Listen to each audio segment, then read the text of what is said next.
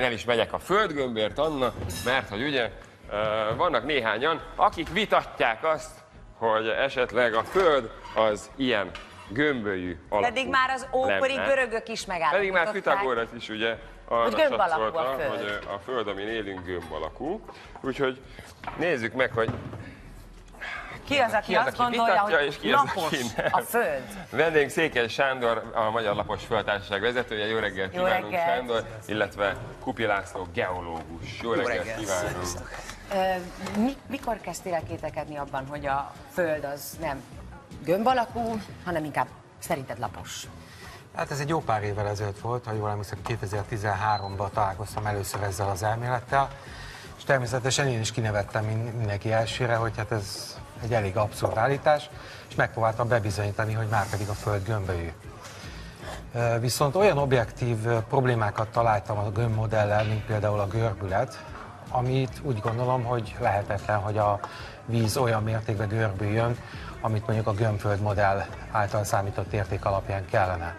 Ez jelen esetben a Balatonunknál 77 kilométeren közel fél kilométer, 465 méter lehajlás kellene jelentsen az egyik pontról, a keleti oldalról a másikra. Ehhez ön mit szól? Alapvetően én sem hiszem, hogy a Földön. Ha nem, nem az, ugyanis azért ezt lemodellezték egészen pontosan, és ugye van ennek egy geoid nevű formája, ami egy picit azt jelenti, hogy belaposodik a sarkoknál, és egy picikét ki gömbölyödik ugye az egyenlítőnél, de alapvetően azért a gömbhöz állunk még mindig legközelebb. Ez a mi földgömbünk, ez, ez nem teljesen így néz ki a föld, ugye? Nem Picit teljesen, természetesen ez annyira ö, észrevehetetlen ö, módosítás, illetve módosulás, hogy ezt nem érzékeljük tulajdonképpen tényleg, ami ö, általunk És leginkább... akkor a Balaton, ennek a Balatonnak ehhez az eltéréséhez Igen. mit szól? Azt, hogy ö, képzeljünk el egy focilabdát. Ugye az, azon is vannak sík felületek, mégis egy gömbként látjuk. Na most egy focilabda, nem vagyok egy nagy sportember, úgyhogy nem tudom pontosan, hogy hány elemből áll, de, de mondjuk egy olyan körülbelül tizede, vagy huszada körülbelül az a kis egyenes rész. Most a Balaton 72 vagy 77 kilométerre a Föld 44 ezer kilométeres átmérőjéhez képest csak az egy 550 része abban a kis egyenesben azért szerintem nem fogunk összeveszni, hogyha esetleg egyenesnek látjuk a vizet. Ha ezt megméritek, akkor még örülök is neki. A Föld az valójában nem matematikailag szerkesztett objektum, hanem egy, egy élő, mozgó, állandóan változó felület, és mint tudjuk, lemezekből áll. Ugyanúgy, mint a focilabda. Tehát lehet, hogy ki fogjátok azt mérni, hogy igen, a Balaton 70 méter, vagy 70 kilométeres hossza, az valóban egy sík felület. De ez azért van, mert egy törésvonal mentén jött létre, és ez a törésvonal ez két nagyobb lemez között van, és az bizony lehet akár egyenes is. Ugyanúgy, Ez a- jól érthető, amit most mondasz. Erről mit gondolsz? Eh, Abban az esetben, hogyha egy gömbfelületen találunk egy sík részt, akkor ott van egy, egy húrmagasság, ugye ennek a, a kilapulásnak, a tökéletes gömbhöz való eltérése, ez geoid undulációnak hívják az ismereteim szerint. Ez a tudomásom szerint Magyarországon 10 cm-en belül van ez a geoid unduláció, tehát a tökéletes gömbtől való eltérés. És az a probléma, hogy ha a Balaton 77 km-en lapos lenne egy gömbfelületen, akkor értelemszerűen a gömb középpontjától való távolsága a közepén és a szélein nem lehet egyforma. A húrmagassággal kell megemelni mind a két oldalt, az azt jelenti, hogy ami középen 105 méter a Balaton tengerszint feletti magassága, a szélein kb. 200 most túl sok a szám, Anna, Anna, már, a Anna már kezdi nem érteni alapból az Egy egészet. konkrétabb kérdéseim vannak, hogyha a föld lapos. lapos. akkor itt leeshetek egyszer csak valahol a szélén, vagy A lapos föld egy teória, tehát ott még sok megválaszthatlan kérdés van. Az általános elképzelés szerint ez egy végtelen síknak, me- jégmezőnek az életöble. Tehát nincsen széle, én gyönyörűen mondtad. nem lehet leesni. Ezt az ókori hajósoknak az ijesztegetésére találták csak ki, ez nem igaz. És a, hogyha ugye a Föld az mégsem gömb alakú, hanem mondjuk tényleg lapos, akkor, ahogy látjuk a képen is, akkor, akkor a, a nap forog a, a Föld fölött, vagy hogy, hogy képzelitek ezt? Vagy hogy Igen. képzeled ezt akartam? Igen? Egész pontosan a nap és a hold egy bizonyos pályán a- László, figyelj. a lapos föld fölött, De akkor sosem menne le a nap, nem? Hogyha ha lapos lenne a Föld. de az atmoszférikus fényelhajlás, ami gyakorlatilag ráhajlítja a nézőpontra a fényt, az az elsődleges oka annak, hogy a nap egy lokális világítást csinál, és amíg körbe megy, akkor a túloldalon éppen sötét van. Megígértek egy Ez, ez, kérdést? ez, ez, ez is nagyon feldolgozni, mert de bocsánat, csak annyi, még, még egy legeslegutolsó, tehát hogy, hogy te voltál Amerikában nyilván, nem? Vagy Mexikóban, ugye? Hogy, tehát ez hogy van, hogy ugye mondjuk most hány óra van nálunk? Mondjuk 8 óra 11, akkor a keleti parton ott ö, 3 óra 11 lehet, ugye? És ott sötét van. De nálunk már világos. Hogy ők nem látnak ebből semmit, tehát akkor nem kéne egy minimum legyen egy ilyen Nem, egy bizonyos távolságra már a fény sem jut el. Tehát ráhajlik a földnek a felszínére. Tehát úgy kell elképzelni, mint mondjuk egy lefelé szóró lámpát, amelyik azt a spotlámpa, azt a felületet világítja, ahol éppen van. Természetesen a, lám, a nap az nem egy spotlámpa, viszont az atmoszférikus fényelhajlás, ez a lencse effektus a, a légkörünktől, ez ráhajlítja a fényt, tehát ezért De bocsánat, Sándor, ugye a műholdas felvételek, az astronauták felvételei mind a geoid formát igazolják, akkor az mind kamu? Igen. Komolyan azt gondolod? Komolyan. Eh, A NASA is elismeri, hogy fényképet nem készítenek a Földről. Cégéik vannak, ami gyakorlatilag eh, összeszerkesztett eh, képek. Ha a Maszatnak, a Magyar Szatellitnek a honlapját megnézitek, akkor ott le is van írva, hogy a föld felszínen miért 10 km 10 kilométeres képkockákból rakják össze a képet. Tehát ez nem egy fénykép, ez egy mozaik kép, amit egy algoritmussal tesznek össze, természetesen akár Tehát Em- ember nem volt tehát a ember nem volt még, sose készült még az űrből egy felvétel a Földről? Igen. Tehát, Az. hogy nem? Mi a helyzet az űrállomással? Sem az űrállomás, sem a szatelitek az én véleményem szerint nem elképzelhetőek, hogy ott lennének fönn.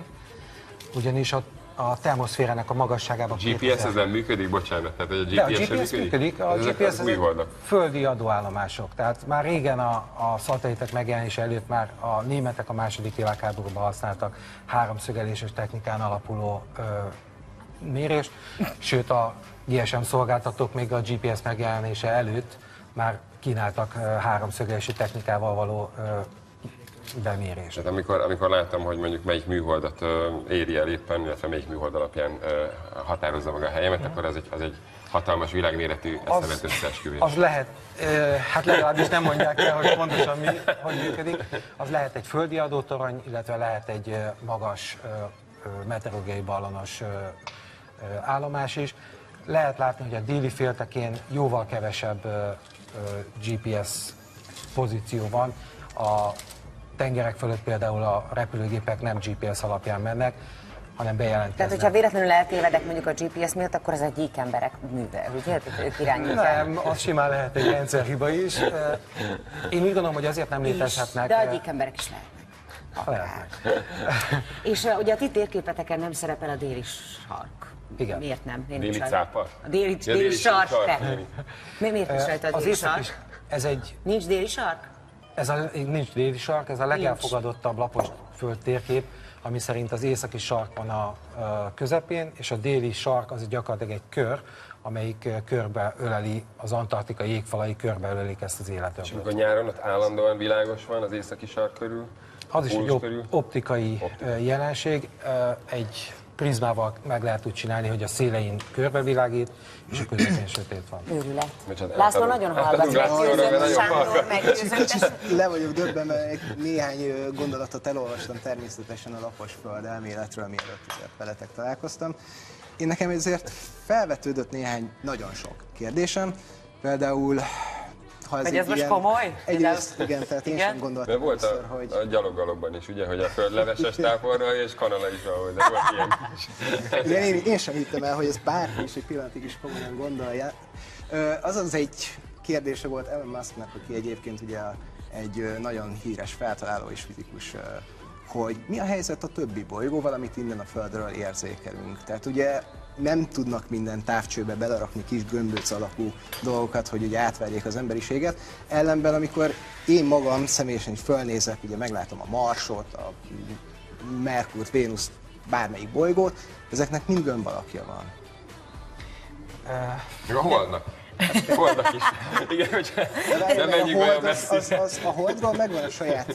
Minket nagyon izgat, hogy hova fog kiukadni ez a dolog, de az időjárás jelentés és a híradó, híradó után folytatni fogjuk meg. Folytatjuk ezt a beszélgetést. És kiderül, hogy lapos-e a De föld. jön majd Jakubcsák Gabi és Lakatos. Tartsanak velük, folytatjuk. Mindjárt folytatjuk, tényleg.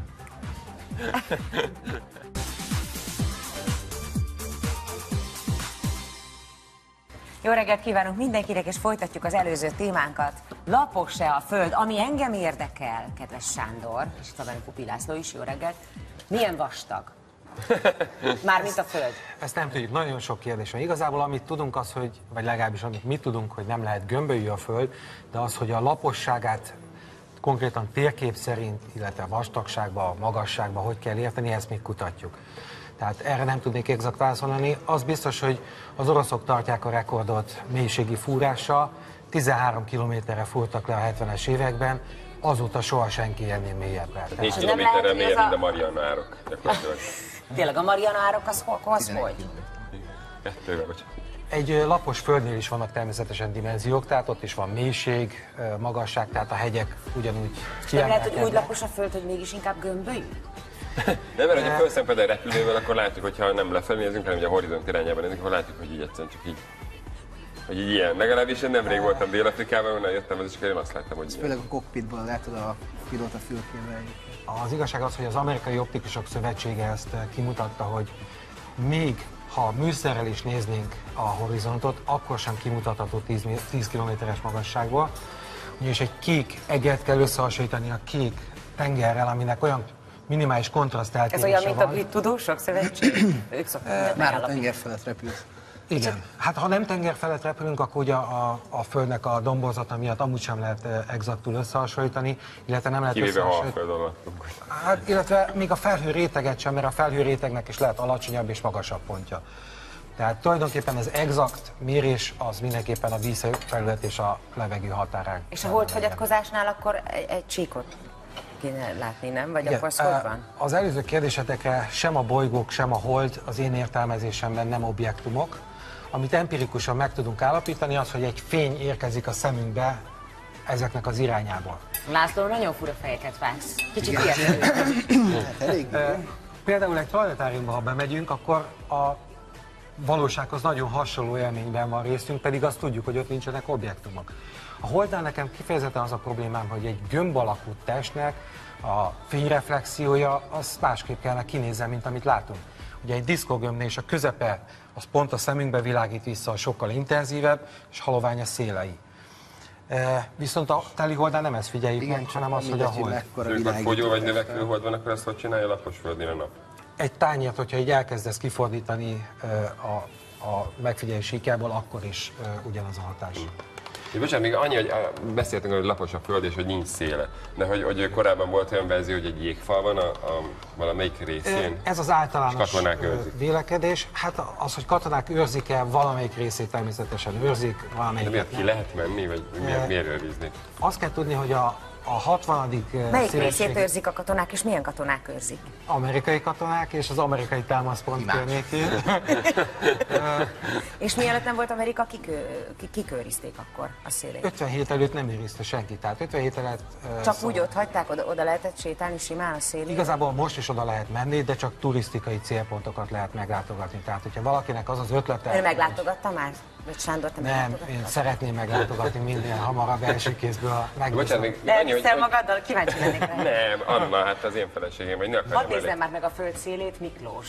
Jó, akkor le- elengedem, de, de csak egy alkalommal, jó? Köszönöm. Na, ha megérett, hogy visszatérsz hozzá, mint a fanándor, aki megkerülte a földet. Tényleg, a Például Bumerang nevű Fanándor. hajóján. Uh, szóval, ő tényleg, hogy, hogy kerülte meg a nándor a földet? Az igazság, hogy a, a bizonyítékoknak a 90%-a az érdekes mód mind a két modellre jó. Tehát egy gömböt is meg lehet kerülni, illetve egy lemezjátszón is körbe megy a tű, tehát a közepén van ugye az északi sark, körbe e, lefele lógnak a kontinensek, tehát ugyanúgy körbe így is meg lehet kerülni, csak akkor folyamatosan az egyik irányba e, tart egy kicsit. Jó, László, most akkor tegyük tisztába, hogy tehát akkor a föld gömbölyű, ugye? Tehát A lehet, A nézőket ne zavarjuk Világos össze. szeret Tudom, minden majd energia minimumra törekedni, és az energia minimumnak a leg, Közben Sándorra néztem, mert a bal szempillám leesik elnézést mindenkitől. legmegközel, Szóval legegyszerűbben megközelíthető formája a gömb. Tehát, hogyha egy, megnézzünk egy esőcseppet, amikor leesik, az is gömb alakú. És valahol a világűrben is szerintem ez lenne a legideálisabb forma arra, ugye, hogyha van egy tömeg középpont, akkor a, felő, a körül gömb alakban rendeződjön el az, ami ahhoz tartozik, tehát például egy bolygó. Sándor, most már itt vagy, bekerültél itt, most is itt vagy, elmondtad. Ugye nem gondoltad komolyan, vagy De ezt mi teljesen komolyan gondoljuk, és a februári lézeres méréssel be is fogjuk bizonyítani, hogy a Balaton sík, és ha a Balaton sík felület, akkor megyünk tovább az óceánokra, illetve folytatjuk a további diskurzusokat. de tényleg Szó szerint komolyan mondod? Sándor, ezt halál komolyan mondod? Igen, abszolút. ki pénzel benneteket? Mert valahonnan kell szerezni pénzt. Van egy saját emberek. ö, illetve vannak olyan magánszemélyek, akik támogatják ezeket a kutatásokat. És amúgy mivel foglalkozol, Sándor? Volt egy találmányom, amit, amit megcsináltam, eladtam, és gyakorlatilag azóta Ugye nem az Szabad autók fékét nem, nem, nem, egy fűtető-hűtető motoros ruházat, illetve mindenféle egyéb felhasználásokra. Én mindig várom, hogy egyszer csak azt mondod, hogy csak poénkodtál. Nem, Nem igazán olyan, ar- olyan aranyosan és kedvesen nézel ránk, és egyszer nem tudjuk elérni, hogy ezt te valóban komolyan gondolod. borzasztó nagy bátorság. Én Ugye, azon hogy ennyire kiáll a véleménye mellett. hogy, hogy az embereknek nem is probléma ez a 465 méteres görbület. Tehát én, én úgy tudom, hogy ha Balatonnak az egyik oldalán leáll, akkor át tudok nézni a másik oldalán. Nekem nem probléma. E, De a tudomány ugye ezt cáfolja, tehát ezt mindenképpen, ha ezt rendbe kell tenni, hogy akkor hogy lehet látni bizonyos dolgokat, amik a görbület mögött nem szabadna, hogy láthatóak. Isteni beszélgetés volt Sándor és László, köszönjük, biztos jobban lesztek majd szerintem, itt megbeszéljük. Tényleg cseréljetek telefonszámot és győzködjétek egymást. De, de meghallgatnám, köszönjük, Nagyon hogy itt szépen voltatok. köszönjük, Nagyon kellemes napot és Nektek is. Remélem hasznosnak találtátok a videót. Mindenkinek a legjobbakat. Shalom és halleluja!